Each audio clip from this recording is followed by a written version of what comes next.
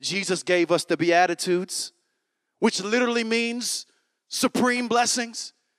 And I think if we were to write those today, it'd be blessed are the rich, blessed are the comfortable, blessed are the well followed.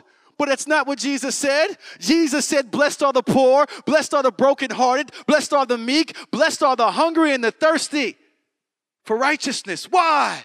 Because that's where God is. He is the God to the weak and the vulnerable. And if that's what we become, is it not an opportunity for the nearness of God? And I challenge you tonight where you are.